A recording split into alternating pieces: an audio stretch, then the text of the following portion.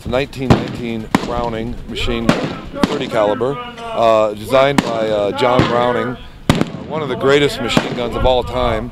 Uh, it was used extensively by the United States all through World War II, Korea, and even into Vietnam. People travel from all over the country to show off their pride and joy weapons, some of them new, some of them old. You're not going to find a whole lot of these that are still functioning today.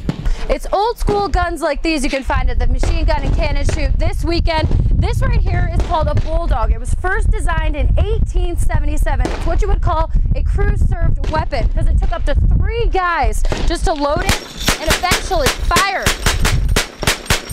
The Bulldog weapon is the oldest designed gun at the Cannon Shoot, but it's not the only one packing some history. From World War I to II, to Korea to Vietnam, you can find variety of firearms, and even over the years, there are still a few similarities. It's fabulous gun, uh, very reliable. Uh, they're they're uh, sound as could be.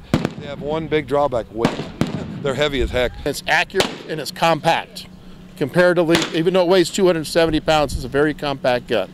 So along with shooting the newest and most high-tech firearms, these historic weapons that have their own stories give you the chance to shoot back in time. A lot of what I hear is, gosh, I've never seen anything like that before, or uh, gee, my grandfather, or my great grandfather fought in World War II, and he probably, I have a picture of him with one of these. I do like World War II history too. Uh, my dad was in Korea, he was in the artillery in Korea, and so, and this gun was used all over then. Um, and he, he, gets a kick out of me these too. So they, uh, they yeah, they're they're quite quite fun guns. From the Machine Gun and Cannon Shoot, Liz Cooper, K2 News.